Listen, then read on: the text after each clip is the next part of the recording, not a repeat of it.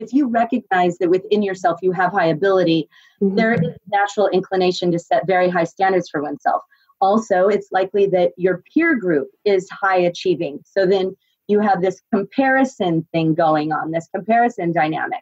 Then you also have the added impact and influence now of social media, which is so aspirational. So that people are putting things on social media that make you feel as though you should be a certain way.